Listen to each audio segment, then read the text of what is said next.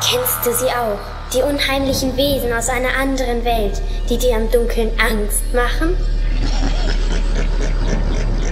Man sagt, sie entstehen aus dem Staub, der sich in den Zimmerecken sammelt. Erst nachts, wenn du schlafen willst, kommen sie aus ihren Verstecken. Schattenkerle, Fensterflegel, Nachtmare, Schrankschrecken und das Monster unter dem Bett. Sie lieben es, wenn du dich fürchtest. Sie wollen dich einschüchtern und dein Zimmer für sich beanspruchen. Aber sie rechnen nicht mit uns. Wir stellen uns der Gefahr, verscheuchen die ungebetenen Gäste, vertreiben sie aus unseren Wohnungen und machen die Kinderzimmer wieder zu einem sicheren Ort. Denn wir sind die Monsterjäger. Monsterjäger.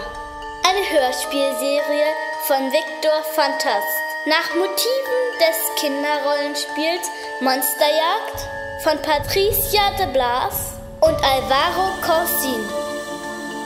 Aus dem Spanischen übertragen von Claudia Heinzelmann.